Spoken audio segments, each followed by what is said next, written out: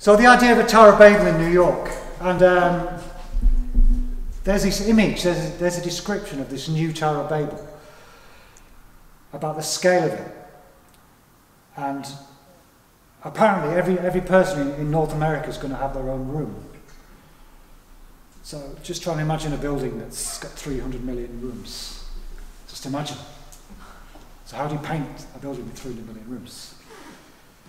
So I tried to paint a building 300 million rooms. So if this is Manhattan, 20 miles long, 4 miles wide, maybe that tells us there's a very big building. So I made a series of um, constructed skyscrapers or towers of Babel. But of course the new Tower of Babel may be a ziggurat or it may be a skyscraper. So in this series I've explored what shape it might be and how big it might be.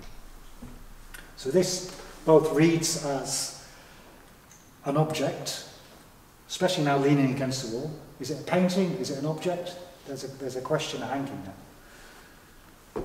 So are we, the viewer, in a building so high that Manhattan is that big down below? So again, we are in a, an enormous building. Or is that a mural painted on the side of a skyscraper? Because you see these giant murals in buildings in New York. Or is this building made of glass, city of glass, transparent, so you can see Manhattan through it? So there's all sorts of questions about space and where we are and what's what, which, which I, I love to explore in my work. I love, the, I love there to be questions hanging. When I look at paintings, I don't want to know the whole story.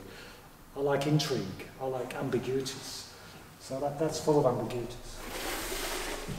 It's called Park Avenue, this, which is a key location in the story. So